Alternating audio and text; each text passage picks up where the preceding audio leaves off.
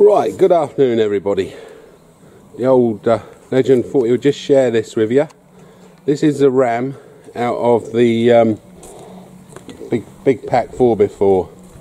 Um, Jason's baler, which stands here. Um, remember I said that we were sending it off to have it repaired? Well, we just got it back from the repair. So uh, yes, so we're ready to put the baler back up that hole, the ram back up that hole. This is a repair that the chap did, and uh, yeah, he's done an excellent job of it. He's cut out all the broken metal and uh, placed a nice new plate on there, sorted all the bosses out, removed the broken pins and everything, and uh, replated it. So we've got a couple of small cracks in the other side, which is welded up, but you know, for this year it'll be fine. As you can see, he's matched the metal to the metal, so it's exactly the same thickness as the side of the ram. He's welded it into the ram, so it's not. It's nice and flush with the side, which it needs to be, um, because in here are your hay dogs, there and there, and that's the tolerances you're working with. About about six mil about 5 6 mil tolerance either side and your roller comes in here and here. So we've got to replace them. We've got to put this back up the hole and then replace the rollers and the con rods. The con rods I don't know if you can see them con rods go on here. So both con rods are on there. Uh, self-oiling got a self-oiling system on it. So that's that bit so far. So I'll put my camera out the way leave it running and let you watch us shove it up the hole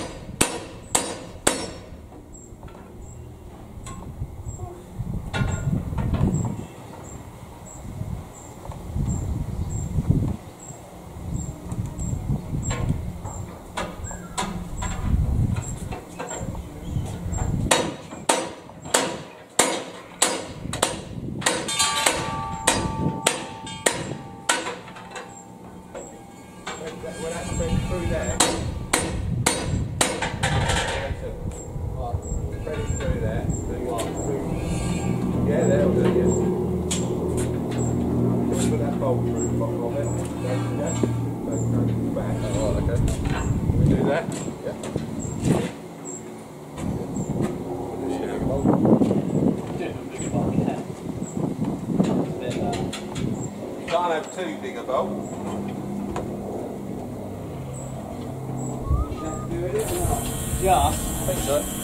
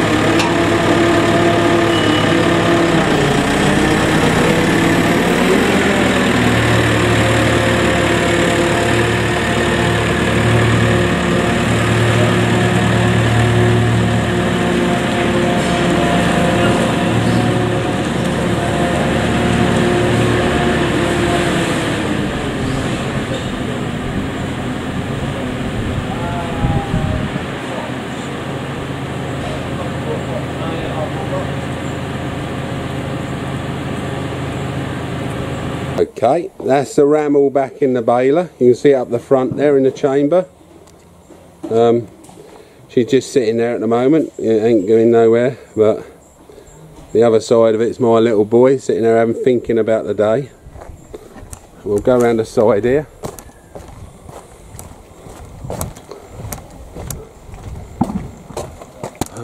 We've got to uh, replace the bearings now.